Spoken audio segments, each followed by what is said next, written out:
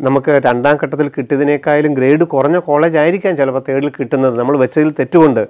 അത് കിട്ടിക്കഴിഞ്ഞാൽ അത് അഡ്മിഷൻ എടുക്കുകയേ നിർവാഹമുള്ളൂ. ഇല്ലെങ്കിൽ നമ്മളുടെ സാധ്യത നീറ്റ് രണ്ടായിരത്തി ഇരുപത്തി മൂന്നിൽ വീണ്ടും പരീക്ഷ എഴുതുക എന്നുള്ളത് മാത്രമായി മാറും. ശിവൻ സാറിനൊപ്പം എന്ന പ്രോഗ്രാമിലെ മുപ്പത്തി ആറാമത് എപ്പിസോഡിലേക്ക് നമ്മൾ പ്രവേശിക്കുകയാണ്. നമസ്കാരം ശിവൻ സാർ. നമസ്തേ.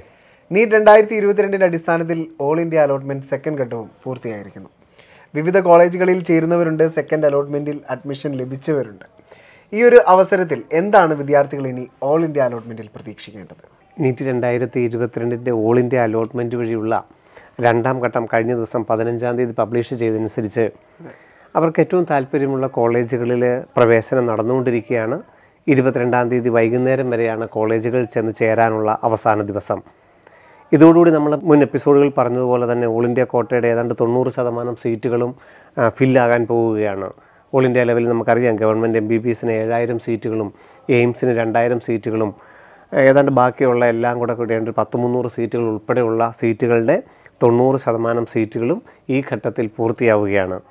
ഈ ഘട്ടത്തിൽ ഓൾ ഇന്ത്യ വഴി അലോട്ട്മെന്റ് കിട്ടിയവരാണ് ഏറ്റവും സേഫ് സോണിലായിട്ടിരിക്കുന്നത് കാരണം ക്ലാസ് തുടങ്ങുന്നതിനൊക്കെ മുമ്പ് തന്നെ എല്ലാ കോളേജുകളിലും എം ബി ബി എസിന്റെ ക്ലാസ്സുകൾ തുടങ്ങുന്ന സമയമായി എല്ലാ സ്റ്റേറ്റുകളിലും ആ തുടങ്ങുന്ന സമയം മുമ്പ് തന്നെ അവർ കോളേജുകളിൽ അവർക്ക് അഡ്മിഷൻ കിട്ടാൻ സാധിച്ചിട്ടുണ്ട്. നീറ്റ് രണ്ടായിരത്തി ഇരുപത്തിരണ്ട് അനുസരിച്ച് അവർക്കൊരു ഗവൺമെന്റ് മേഖലയിൽ അല്ലെങ്കിൽ ഒരു ഡീംഡ് മേഖലയിൽ അല്ലെ എയിംസിന്റെയോ ജിപ്മറിന്റെയോ അവർ ആഗ്രഹിച്ച കോളേജുകളിൽ അല്ലെ E S I I P വഴി അവരാഗ്രഹിച്ചൊരു കോളേജുകളിൽ അവർക്ക് പ്രവേശനം ലഭിച്ചു. അപ്പോൾ ക്ലാസ്സൊക്കെ തുടങ്ങുന്നതിന് മുമ്പ് തന്നെ ആ ക്യാമ്പസും അവിടെയായിട്ട് ആ ഫാക്കൽറ്റീസും ഒക്കെ ആയിട്ട് ഒന്ന് ഇണങ്ങി ചേരാനായിട്ട് അവർക്ക് സാധിച്ചു. എപ്പോഴും നമുക്കൊരു ക്ലാസ് തുടങ്ങി കഴിഞ്ഞിട്ട് നമ്മൾ അങ്ങോട്ട് ചെല്ലുമ്പോൾ നമുക്ക് പിന്നെ അതൊന്ന് സെറ്റാകാനായിട്ട് അല്പം സമയമെടുക്കും. പക്ഷേ ഈ രണ്ട് ആദ്യത്തെ രണ്ട് റൗണ്ടിലും അഡ്മിഷൻ എടുത്തവർ ആ കാര്യത്തിൽ ഭാഗ്യവാന്മാരാണ്. അവർക്ക് ക്ലാസ് തുടങ്ങുന്നതിന് മുമ്പ് തന്നെ ക്ലാസ്സുകൾ ജോയിൻ ചെയ്യാനായിട്ട് സാധിച്ചിട്ടുണ്ട്. ഇനി നീറ്റ് രണ്ടായിരത്തി ഇരുപത്തിരണ്ടിൽ എന്ത് സംഭവിച്ചു കഴിഞ്ഞാലും അവരുടെ ആ സീറ്റിന് ഇളക്കം തട്ടുകയുമില്ല. സ്റ്റേറ്റ് കൗൺസിലിങ്ങിൽ നടക്കാം. ഓൾ ഇന്ത്യ കൗൺസിലിങ്ങിൽ മാറ്റം വരാം. പക്ഷേ ഓൾ ഇന്ത്യ അലോട്ട്മെന്റ് വഴി ഒന്നാം ഘട്ടത്തിലും രണ്ടാം ഘട്ടത്തിലും ഒരു കോളേജുകളിൽ ചെന്ന് പ്രവേശനം നേടിയവർ നൂറ് ശതമാനവും ഭാഗ്യവാന്മാർ തന്നെയാണ്. അവരുടെ ക്ലാസ്സുകൾ ഇനി വരുന്ന നാലര വർഷം അവർ എം ബി ബി എസിന്റെ വിവിധ സബ്ജക്റ്റുകൾ വഴി കടന്നു പോവുകയും അതിനുശേഷം ഒരു വർഷത്തെ ഹൗസ് സർവൻസിക്ക് ശേഷം അവർ ഡോക്ടർ എന്നുള്ള ലേബലിൽ നമ്മുടെ സമൂഹത്തിലേക്ക് ഇറങ്ങുകയും ചെയ്യും. അപ്പോൾ അവരിനി മറ്റൊന്നിനെക്കുറിച്ചും റാങ്കിനെക്കുറിച്ചോ കോളേജുകളെക്കുറിച്ചോ ആ, അല്ലെങ്കിൽ റിസർവേഷനുകളെക്കുറിച്ചോ ഏതെങ്കിലും വെബ്സൈറ്റുകൾ വഴി ഇനി എന്തെങ്കിലും ചെയ്യേണ്ടതായിട്ടില്ല. കേരളയുടെ വെബ്സൈറ്റിലോ ഓൾ ഇന്ത്യയുടെ വെബ്സൈറ്റിലോ നീറ്റിന്റെ വെബ്സൈറ്റിലോ കോളേജുകൾ ചേർന്ന് കഴിഞ്ഞവർ ഒന്നും ചെയ്യേണ്ടതായിട്ടില്ല. അവർ ചേർന്ന് രജിസ്ട്രേഷൻ ഫീസ് എടുത്ത് അടച്ച എമൗണ്ട് പതിനായിരം ആയിരിക്കാം അയ്യായിരം ആയിരിക്കാം രണ്ട് ലക്ഷം ആയിരിക്കാം അത് ഒരു ഫെബ്രുവരി മാർച്ച് ആകുമ്പോൾ ഓട്ടോമാറ്റിക്കായിട്ട് അവരുടെ അക്കൗണ്ടിലേക്ക് തിരിച്ചു വരികയും ചെയ്യും.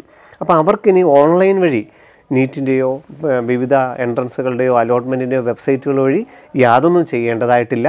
അവർക്കിനി ഒരു കോളേജ് മാറ്റത്തിൽ പ്രസക്തിയുമില്ല. അവരെ ഇനി ഒരു സ്റ്റേറ്റ് കൗൺസിലിങ്ങിലോ മറ്റൊരു മാനേജ്മെന്റ് കോട്ടയ്ക്കോ ഒന്നും പരിഗണിക്കുകയുമില്ല. അപ്പം അവരുടെ കാര്യം ക്ലിയറായി. ഇനിയും നമുക്ക് സാധ്യതകൾ ആരായേണ്ടത് ഈ രണ്ടാം ഘട്ട അലോട്ട്മെന്റും വന്നു കഴിഞ്ഞിട്ട് അത്രയും സാറ്റിസ്ഫൈഡ് ആകാതെ അലോട്ട്മെന്റ് എടുക്കാതെ നിൽക്കുന്നവരെയാണ്. നമുക്കറിയാം ഓൾ ഇന്ത്യ കോട്ടയിൽ നമ്മൾ രജിസ്ട്രേഷൻ ഫീസ് ഇനത്തിൽ രജിസ്റ്റർ ചെയ്തിട്ടാണ് നമ്മൾ ഓപ്ഷൻ കൊടുത്തത്. നമ്മളുടെ താല്പര്യത്തിനനുസരിച്ച് നമ്മൾ പ്രിഫറൻസ് ഓർഡർ കൊടുക്കുകയും ചെയ്തു അലോട്ട്മെന്റ് വരികയും ചെയ്തു. ഗവൺമെന്റ് മേഖലയിൽ പതിനായിരമോ അയ്യായിരമോ ഡീംഡ് മേഖലയിൽ രണ്ട് ലക്ഷം അടച്ച് നമ്മൾ രജിസ്റ്റർ ചെയ്തു. നമ്മൾ തന്നെ പ്രിഫറൻസ് ഓർഡർ ഉണ്ടാക്കി കൊടുത്തു.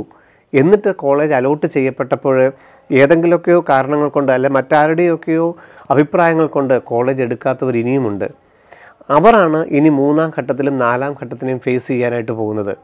അവരുടെ കാര്യത്തിലാണ് ഏറ്റവും അധികം ശ്രദ്ധ വേണ്ടത്. കാരണം ഇനിയൊരു അപാകത അവർക്കുണ്ടായാൽ ഇനി അവർക്ക് ഈ നീറ്റ് രണ്ടായിരത്തി ഇരുപത്തിരണ്ടിന്റെ എല്ലാ സാധ്യതകളും ഇല്ലാതെ പോകും. കാരണം മൂന്നാം ഘട്ടത്തിനും നാലാം ഘട്ടത്തിനും വേണ്ടിയിട്ട് നമ്മളിനി ഓപ്ഷൻ കൊടുക്കുമ്പം സ്റ്റേറ്റ് കോട്ടകളിൽ സാധ്യതകളുണ്ട് ഓൾ ഇന്ത്യ കോട്ടകളിൽ സാധ്യതകളുണ്ട്. അതീവ ശ്രദ്ധയായിട്ട് തന്നെ ഇനി വരുന്ന ഘട്ടങ്ങളിലെ സമീപിക്കണം. കാരണം അവിടെ രജിസ്ട്രേഷൻ ഫീസ് നഷ്ടപ്പെട്ടു.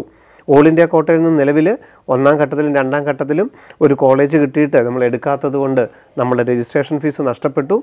ഒന്നാം ഘട്ടത്തിൽ നിങ്ങൾ ഒരു സീറ്റ് എടുത്തില്ലായിരുന്നെങ്കിലും ഫ്രീ എക്സിറ്റ് ഉണ്ടായിരുന്നു. പക്ഷേ രണ്ടാം ഘട്ടത്തിൽ നിങ്ങൾ സീറ്റ് എടുക്കാതെ വന്നതുകൊണ്ട് നിങ്ങളുടെ രജിസ്ട്രേഷൻ ഫീസ് നഷ്ടപ്പെട്ടു. അത് രണ്ട് ലക്ഷം വരെ നഷ്ടപ്പെട്ടവരുണ്ട്. ഇനി മൂന്നാം ഘട്ടത്തിൽ നമ്മൾ അങ്ങനെ നഷ്ടപ്പെട്ടവർ പുതിയതായി വീണ്ടും പേയ്മെന്റ് ചെയ്ത് രജിസ്റ്റർ ചെയ്യേണ്ട ലോഗിൻ ചെയ്തിട്ട് പേയ്മെന്റ് ചെയ്തിട്ട് നമുക്ക് വേക്കൻസി ഉള്ള സീറ്റുകളിലേക്കാണ് അവർ ഓപ്ഷൻ കൊടുക്കേണ്ടത്. ഇനി ഈ ഏഴായിരത്തി ഇരുന്നൂറിൽ നിന്നും ഏതൊക്കെ കോളേജുകളിൽ വേക്കൻസി ഉണ്ടോ അത് ലിസ്റ്റ് ചെയ്തിരിക്കും. അങ്ങോട്ട് മാത്രമായിട്ട് ഓപ്ഷൻ കൊടുക്കാൻ സാധിക്കും. ഈ ഘട്ടത്തിൽ ഏതാണ്ട് അറുന്നൂറ്റി രണ്ട് മാർക്ക് വരെ ഇരുപതിനായിരത്തി നാല് വരെയുള്ള ജനറൽ വിഭാഗത്തിനും ഇരുപതിനായിരത്തി മുന്നൂറ് വരെയുള്ള O B C non creamy layer വിഭാഗത്തിനും ഇരുപത്തി ഒരായിരത്തി എഴുന്നൂറ് വരെയുള്ള ഇ ഡബ്ല്യു എസ് വിഭാഗത്തിനുമാണ് ഈ ഘട്ടത്തിൽ പ്രവേശനം ലഭിച്ചത്. ഇനി എന്തായിരിക്കാം? യഥാർത്ഥത്തിൽ നമ്മൾ വിചാരിച്ച അത്രയും ഒരു സെക്കൻഡ് അലോട്ട്മെന്റിൽ മൂവ്മെന്റ് ഉണ്ടായില്ല. കാരണം ഇപ്പോഴത്തെ കുട്ടികൾ എല്ലാം കൂടുതൽ ചോയ്സുകൾ കൂടുതൽ സാധ്യതകൾ ആരായുന്നതുകൊണ്ട് പതിനേഴായിരം റാങ്ക് വരെ ഓൾ ഇന്ത്യ കോട്ടയുടെ ഒന്നാമത്തെ റൗണ്ട് വന്നതിൽ വളരെ കുറച്ച് തൊണ്ണൂറ് ശതമാനം പേരും ആ സീറ്റുകൾ സ്വീകരിച്ചില്ല. ഇതിനേക്കാളും സാധ്യതകളുള്ള ഇതിനേക്കാളും റാങ്കിങ്ങിൽ മെച്ചമുള്ള ഒരു കോളേജിന് വേണ്ടി അവർ ഫ്രീ എക്സിറ്റ് ഉപയോഗിച്ചു ഒന്നാം ഘട്ടത്തിൽ. അതുകൊണ്ട് എന്ത് പറ്റി? രണ്ടാം ഘട്ടത്തിൽ കോളേജുകളുടെ ലാസ്റ്റ് റാങ്കിന് വലിയ മാറ്റമുണ്ടായില്ല സാധാരണ മുൻ വർഷങ്ങളിൽ നാലായിരം അയ്യായിരം റാങ്കിന്റെ വ്യത്യാസം വന്നപ്പോൾ ഈ വർഷം കൃത്യമായി ഏതാണ്ട് രണ്ടായിരത്തി അറുന്നൂറ് റാങ്കിന്റെ വ്യത്യാസമേ ഒന്നാം ഘട്ടവും രണ്ടാം ഘട്ടവും തമ്മിൽ വന്നുള്ളൂ. നാലായിരത്തിന് അപ്പുറത്ത് വരേണ്ടിയിരുന്നതാണ്. എന്തുകൊണ്ടാണ് ആദ്യത്തെ ഘട്ടത്തിൽ വന്നപ്പോൾ കുട്ടികൾ സീറ്റ് സ്വീകരിക്കാൻ മടിച്ചു? രണ്ടാം ഘട്ടത്തിലും ഇത് ആവർത്തിക്കുകയാണെങ്കിൽ ഈ ഇരുപതിനായിരം വരെ വന്നിരിക്കുന്ന സീറ്റുകൾ തന്നെ ആയിരിക്കും. ഇനി ഒരു റാങ്ക് ഒരു ഇരുപത്തിരണ്ടായിരം വരെയൊക്കെ തേർഡ് റൗണ്ടിൽ മാറ്റം കിട്ടിയേക്കാം. പക്ഷേ കോളേജുകളുടെ നിലവാരത്തിൽ വലിയൊരു വ്യത്യാസം ഉണ്ടാകാൻ സാധ്യതയില്ല. നേരെ മറിച്ച് കൂടുതൽ ഒരു തൊണ്ണൂറ് ശതമാനം സീറ്റ് കുട്ടികളും കോളേജിൽ പോയി അഡ്മിഷൻ എടുക്കുകയാണെങ്കിൽ മിച്ചം വരുന്ന സീറ്റുകൾക്ക് മാത്രമായിട്ട് തേർഡ് അലോട്ട്മെന്റ് നടക്കുകയാണെങ്കിൽ നല്ല വ്യത്യാസം വരികയും ചെയ്യും. ഞാൻ പറഞ്ഞത് ഒന്നാം ഘട്ടത്തിൽ നമ്മൾ കണ്ടത് തൊണ്ണൂറ് ശതമാനം വിദ്യാർത്ഥികളും ഓൾ ഇന്ത്യ വഴിയുള്ള അഡ്മിഷൻ എടുത്തില്ല. എല്ലാവരും മാറി നിന്നു. എന്നിട്ട് സ്റ്റേറ്റ് കോട്ടയിലെ സാധ്യതകൾ നോക്കി. വീണ്ടും ഓൾ ഇന്ത്യ കോട്ടയുടെ രണ്ടാം റൗണ്ടിൽ എല്ലാവരും ഓപ്ഷനുകൾ സമർപ്പിച്ചു. അപ്പം വലിയൊരു വ്യത്യാസം. മുൻ വർഷങ്ങളിലെ പോലെ കോളേജുകളുടെ റാങ്കിങ്ങിൽ വലിയൊരു വ്യത്യാസം ഉണ്ടായില്ല. ഇരുപതിനായിരത്തി നാലിന് അറുന്നൂറ്റി രണ്ട് മാർക്കിന് രണ്ടാം ഘട്ടം അവസാനിച്ചു. ഇവിടെ നമ്മൾ ഓൾമോസ്റ്റ് വിദ്യാർത്ഥികൾ അഡ്മിഷൻ എടുക്കുകയാണെങ്കിൽ മാത്രമേ മൂന്നും നാലും ഘട്ടത്തിന് പ്രസക്തി ഉണ്ടാവുകയുള്ളൂ. കൂടുതൽ നല്ല കോളേജുകൾ അഡ്മിഷൻ കിട്ടിയിട്ട് മാറി നിന്നവർക്ക് കൂടുതൽ നല്ല കോളേജുകൾ കിട്ടുകയുള്ളൂ.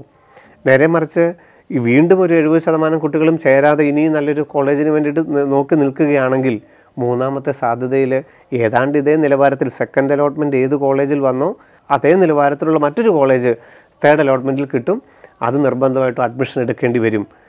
ഇരുപതിനായിരത്തി നാലിൽ നിന്ന് ജനറൽ വിഭാഗത്തിൽ ഇരുപത്തിരണ്ടായിരത്തി അഞ്ഞൂറ് ഇരുപത്തി മൂവായിരം വരെ സെക്കൻഡ് റൗണ്ടിൽ വരാം. കൂടുതൽ കുട്ടികൾ അഡ്മിഷൻ എടുത്തു കഴിഞ്ഞാൽ അല്ല എങ്കിൽ ഏതാണ്ട് ഈ ഒരു റാങ്കിങ് തന്നെ ഇരുപത്തോരായിരത്തിന്റെ റേഞ്ചിൽ തന്നെ വീണ്ടും തേർഡ് അലോട്ട്മെന്റ് തീരുകയും ഫോർത്ത് അലോട്ട്മെന്റ് ഇരുപത്തിനാലായിരം ഇരുപത്തയ്യായിരം റേഞ്ചിലോട്ടൊക്കെ. കാരണം അതിനകത്ത് വേറൊരു അഡ്മിഷൻ എടുക്കാത്തവർക്ക് മാത്രമേ സ്ട്രേ വേക്കൻസിയിൽ പങ്കെടുക്കാൻ സാധിക്കുകയുള്ളൂ. അതിനകത്ത് വലിയൊരു വ്യത്യാസം ഉണ്ടാവുകയും ചെയ്യാം. അപ്പം ഇനിയും അലോട്ട്മെന്റ് കിട്ടുന്നവർ ദയവായിട്ട് ഇതിനേക്കാളും വലിയൊരു സാധ്യതയ്ക്ക് വേണ്ടിയിട്ട് വെയിറ്റ് ചെയ്യരുത്. കോളേജുകൾക്ക് നമ്മുടെ റാങ്കിനനുസരിച്ചുള്ള നല്ലൊരു കോളേജാണ് ഗവൺമെന്റ് മേഖലയിൽ കിട്ടിയിരിക്കുന്നത്. ഏതാണെങ്കിലും അത് ഇപ്പോൾ കേരളത്തിലെ പന്ത്രണ്ട് കോളേജുകളുടെ നിലവാരത്തിൽ തന്നെയുള്ള അല്ലെങ്കിൽ അതിനേക്കാളും നിലവാരത്തിലുള്ള കോളേജുകൾ തന്നെയാണ് കിട്ടിയിരിക്കുന്നത്. അവിടെ അഡ്മിഷൻ എടുക്കുകയും അവിടെ പഠിക്കുകയും ചെയ്യേണ്ടതാണ്. ഇനിയും ഒരു മാറ്റത്തിന് യാതൊരുവിധ പ്രസക്തിയും ഇല്ല. അതുകൊണ്ട് ഇരുപതിനായിരത്തി നാലിൽ നിന്നും തേർഡ് അലോട്ട്മെന്റ് വരുമ്പോൾ വലിയൊരു വ്യത്യാസം പ്രതീക്ഷിക്കരുത്.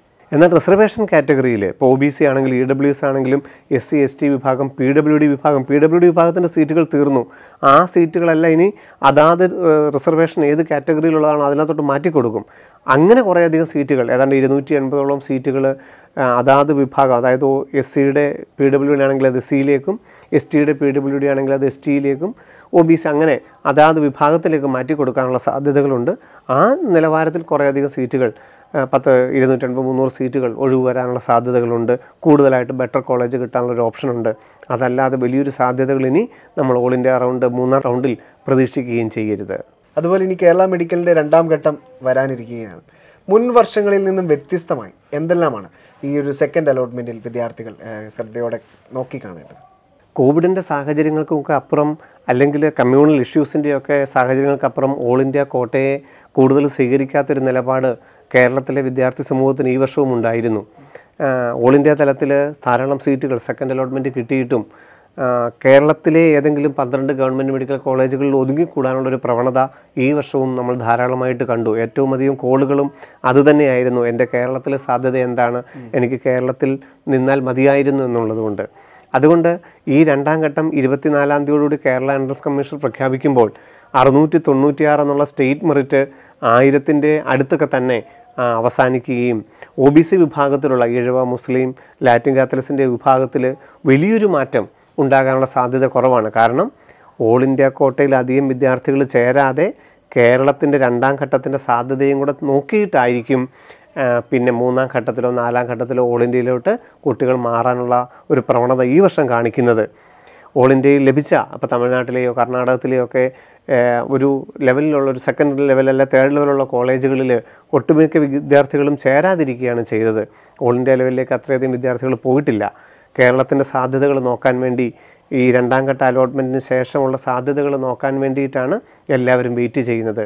ഈ വർഷം നമുക്കറിയാം കേരള സ്റ്റേറ്റ് അലോട്ട്മെന്റ് വഴിയാണെങ്കിലും രണ്ടാം ഘട്ടത്തിൽ നമ്മളൊരു കോളേജിൽ പ്രവേശനം നേടിക്കഴിഞ്ഞാൽ പിന്നീട് ഒരു മാറ്റം ഉണ്ടാവുകയില്ല. അതായത് മുൻ വർഷങ്ങളിൽ സ്റ്റേറ്റിൽ നിന്ന് ഓൾ ഇന്ത്യ കോട്ടയിലേക്ക് മൂന്നാം റൗണ്ടിൽ പരിഗണിച്ചിരുന്നു. ഈ വർഷം മുതൽ എൻ എം സിയുടെ നിർദ്ദേശപ്രകാരം സുപ്രീം കോടതിയുടെ ഒരു പ്രത്യേക നിർദ്ദേശം ഉണ്ടായിരുന്നു അനന്തമായിട്ട് അലോട്ട്മെന്റുകൾ നീട്ടിക്കൊണ്ടു പോകരുത്. കാരണം വേക്കൻസികൾ പിന്നെയും പിന്നെയും സൃഷ്ടിക്കപ്പെട്ടാൽ ഇത് ഈ അലോട്ട്മെന്റ് പ്രോസസ്സ് ഒരു ഒരു ഘട്ടത്തിൽ വെച്ച് നമുക്ക് നിർത്താനാവില്ല. അലോട്ട്മെന്റ് പ്രോസസ്സ് മൂന്നോ നാലോ ഘട്ടത്തിന് ശേഷം നിർത്തുവാൻ വേണ്ടിയിട്ട് ഇനി മുതൽ നടക്കുന്ന എല്ലാ അലോട്ട്മെന്റുകളിലും രണ്ടാം ഘട്ടമാണെങ്കിലും മൂന്നാം ഘട്ടമാണെങ്കിലും നാലാം ഘട്ടമാണെങ്കിലും അത് ഓൾ ഇന്ത്യ ആവട്ടെ സ്റ്റേറ്റ് ആവട്ടെ നമ്മൾ ഏത് കോളേജിൽ പ്രവേശനം നേടുന്നോ അലോട്ട് ചെയ്യുന്നുണ്ടോ എന്നുള്ളതല്ല പ്രവേശനം നേടുന്നുവോ അവിടെയായിരിക്കും നമ്മൾ പഠിക്കുന്നത്. പിന്നീട് ഒരു മാറ്റം ഉണ്ടാവുകയില്ല. അത് എൻ എം സിയുടെ സൈറ്റിനകത്ത് അതിനുള്ള ഒരു പ്രത്യേക ലിങ്ക് ഉണ്ടാക്കിയിട്ടുണ്ട്. സ്റ്റേറ്റ് കോട്ടയിൽ കയറുന്ന കുട്ടികളുടെ എല്ലാം ഡീറ്റെയിൽസ് അതിനകത്ത് എന്റർ ചെയ്യും. ഓൾ ഇന്ത്യ കോട്ടയിൽ കയറുന്നവരുടെ എന്റർ ചെയ്യും. അവരെ പിന്നീട് നടക്കുന്ന മൂന്നോ നാലോ ഘട്ടങ്ങളിൽ പരിഗണിക്കുകയില്ല. മൂന്നാം ഘട്ടത്തിലാണ് നമ്മൾ പോയി ചേരുന്നതെങ്കിൽ നാലാം ഘട്ടത്തിൽ പരിഗണിക്കുകയില്ല. മൂന്നാം ഘട്ടത്തിൽ ഒരു കോളേജിൽ അലോട്ട് ചെയ്യപ്പെട്ട് എടുത്തില്ലെങ്കിൽ നാലാം ഘട്ടത്തിൽ പരിഗണിക്കേണ്ട കാര്യമില്ല.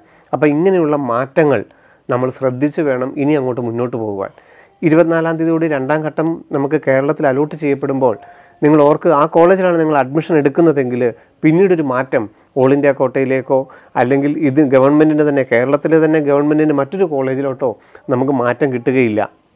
നമ്മൾ ആ രണ്ടാം ഘട്ടത്തിൽ കിട്ടിയ കോളേജിലായിരിക്കും പഠിക്കുന്നത്. അതാണ് നമ്മളുടെ നീറ്റ് രണ്ടായിരത്തി ഇരുപത്തിരണ്ടിന്റെ കേരള മെഡിക്കൽ റാങ്ക് വെച്ച് നമുക്ക് കിട്ടാനുള്ള അർഹതയുള്ള സീറ്റും അതാണ്. അല്ലെങ്കിൽ ഇനി മുമ്പോട്ട് പോകുമ്പോൾ ഇതിനേക്കാളും ബെറ്ററായിട്ടൊരു കോളേജ് കിട്ടും. അങ്ങനെ പ്രതീക്ഷിക്കുകയും ചെയ്യരുത്. രണ്ട് ഘട്ടങ്ങൾ കഴിഞ്ഞിരിക്കുന്നു. നമ്മളുടെ അർഹതയ്ക്കനുസരിച്ചുള്ള സീറ്റാണിത്.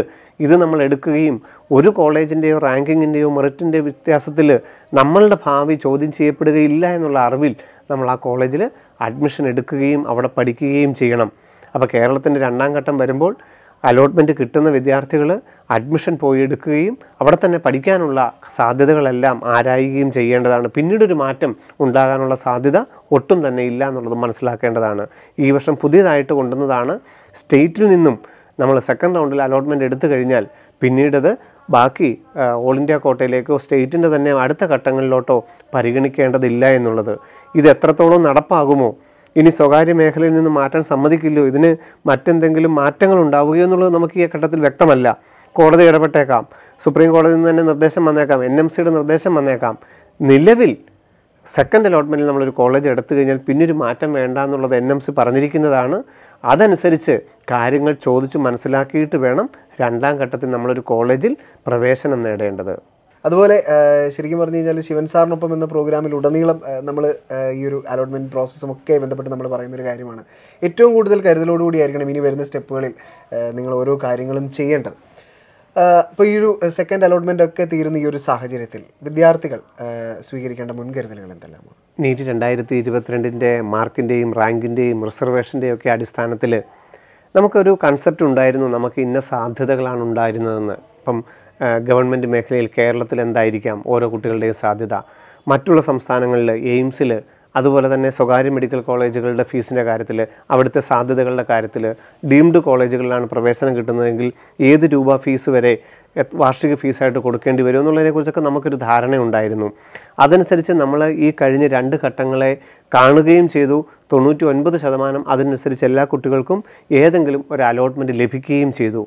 പക്ഷേ ഇന്നത്തെ സമൂഹത്തിന്റെ ഒരു പ്രത്യേകത കൊണ്ടായിരിക്കാം അവർ അതിൽ തൃപ്തരാകാതെ വീണ്ടും അടുത്ത അലോട്ട്മെന്റുകൾക്ക് വേണ്ടിയിട്ട് വെയിറ്റ് ചെയ്യുകയും ഇനി നമ്മൾ പറഞ്ഞതുപോലെ തന്നെ ഏറ്റവും അക്ഷരാർത്ഥത്തിൽ സംഭവിക്കാൻ പോവുകയാണ് ഓരോ ചുവടും ഏറ്റവും ശ്രദ്ധയോടെ മുന്നോട്ട് കൊണ്ടുപോകണം. കാരണം ഓൾ ഇന്ത്യ കോട്ടയ്ക്കാണെങ്കിൽ ഇനി രണ്ട് റൗണ്ടാണുള്ളത് മൂന്നും നാലും. ഈ മൂന്നും നാലും റൗണ്ടുകൾക്ക് വേണ്ടി ഒരു പ്രാവശ്യം ഓപ്ഷൻ കൊടുക്കാനേ അവസരമുള്ളൂ. ഓൾ ഇന്ത്യ തലത്തിൽ മൂന്നാമത്തെ അലോട്ട്മെന്റിൽ നമുക്കൊരു സീറ്റ് അലോട്ട് ചെയ്യപ്പെട്ടാൽ അതായത് ഓൾ ഇന്ത്യ തലത്തിലോ സ്റ്റേറ്റ് തലത്തിലോ നമുക്ക് ഒന്നിലും രണ്ടിലും നമുക്ക് സീറ്റ് കിട്ടിയിട്ടില്ല. അല്ല സീറ്റ് കിട്ടിയിട്ടുണ്ടെങ്കിൽ നമ്മൾ നമ്മൾ പോയി പ്രവേശനം നേടിയില്ല. ഇനി ഓൾ ഇന്ത്യ തലത്തിൽ നമ്മൾ ഓപ്ഷൻ കൊടുക്കാൻ പോവുകയാണ്.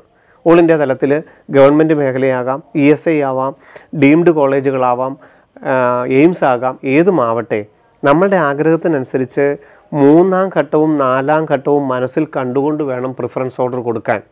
എന്ന് പറഞ്ഞാൽ എം ബി ബി എസും ബി ഡി എസും നോക്കുന്ന ഒരാൾ എം ബി ബി എസ് കിട്ടാത്ത സാഹചര്യത്തിൽ ബി ഡി എസ് ആണ് വേണ്ടതെങ്കിൽ ഇപ്പോൾ കൊടുക്കേണ്ടതായിട്ടുണ്ട്. ഈ മൂന്നാം ഘട്ടത്തിൽ കൊടുക്കേണ്ടതായിട്ടുണ്ട്. മൂന്നാം ഘട്ടത്തിൽ ഓൾ ഇന്ത്യ തലത്തിൽ നമുക്കൊരു സീറ്റ് അലോട്ട് ചെയ്യപ്പെടുകയാണെങ്കിൽ നമുക്ക് ആ കോളേജിൽ പോയി പ്രവേശനം നേടാം. അവിടെ നാലര വർഷം പഠിക്കാം. പിന്നീട് നമുക്കൊരു മാറ്റമില്ല. രണ്ടാം ഘട്ടം പോലെ തന്നെ. പക്ഷേ നമുക്ക് അലോട്ട് ചെയ്യപ്പെട്ടിട്ട് എടുത്തില്ല എങ്കിൽ നീറ്റ് രണ്ടായിരത്തി ഇരുപത്തിരണ്ടിന്റെ ഓൾ ഇന്ത്യ റാങ്കിനനുസരിച്ച് പിന്നീട് നമുക്ക് ഓൾ ഇന്ത്യ തലത്തിൽ ഒരു സാധ്യതയുമില്ല. നമ്മളെ ഗവൺമെന്റിൽ പ്രവേശിപ്പിക്കുകയില്ല ഓൾ ഇന്ത്യ തലത്തിൽ. ഡീംഡ് മേഖലയിൽ പ്രവേശിപ്പിക്കുകയില്ല. ഇ എസ് ഐ ആണെങ്കിൽ അതിലിനി സാധ്യതകളില്ല. മൂന്നാമത്തെ റൗണ്ടിൽ ഓൾ ഇന്ത്യ തലത്തിൽ ഒരു അലോട്ട്മെന്റ് വന്നിട്ട് എടുത്തില്ല എങ്കിൽ നമുക്ക് പിന്നെ ഓൾ ഇന്ത്യ തലത്തിൽ ഒരു സാധ്യതയും ഇല്ല സ്ട്രേ വേക്കൻസി പിന്നെ ഉണ്ട്.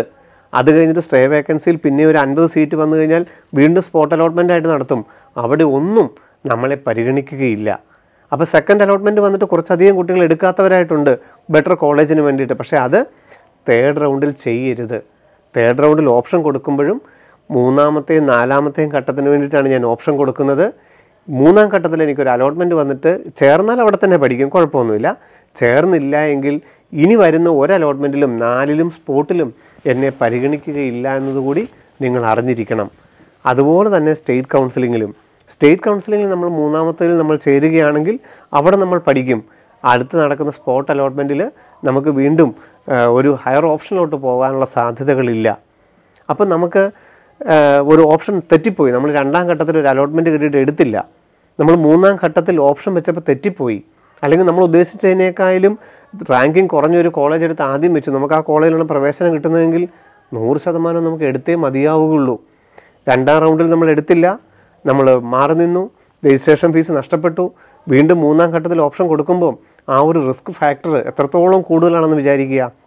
നമ്മൾ എത്രത്തോളം തയ്യാറെടുപ്പ് കൊണ്ടാണ് നീറ്റ് രണ്ടായിരത്തി ഇരുപത്തിരണ്ടിന്റെ ഇത്രയും വലിയ പതിനെട്ട് ലക്ഷം കുട്ടികൾ എഴുതിയതിൽ ഓൾ ഇന്ത്യ റാങ്കിങ്ങിൽ ഇരുപത്തി ഓരായിരവും ഇരുപത്തിനാലായിരവും വന്ന കുട്ടികളാണ് മൂന്നും നാലും ഘട്ടങ്ങൾക്ക് വേണ്ടിയിട്ട് ഓൾ ഇന്ത്യ തലത്തിൽ ഓപ്ഷൻ സമർപ്പിക്കുന്നത്.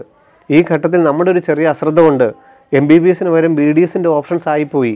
അല്ലെങ്കിൽ നമ്മൾ ഉദ്ദേശിക്കാത്ത ഒരു കോളേജുകളായിപ്പോയി മറ്റൊരു സ്റ്റേറ്റ് ആയിപ്പോയി. ഇപ്പം മഞ്ചേരി എന്ന് പറയുന്ന കോളേജിന്റെ സ്ഥലത്ത് നമ്മൾ അറിയാതെ കാരണം ഒരു സ്റ്റേറ്റിന്റെയും പർട്ടിക്കുലർ കോളേജ് ഒരു സ്റ്റേറ്റ് വെച്ചിട്ടല്ല കോളേജുകൾ ഓൾ ഇന്ത്യ തലത്തിൽ കിടക്കുന്നത്. മൊത്തം ആൽഫബറ്റിക് ഓർഡറാണ് കൊടുക്കുന്നത്.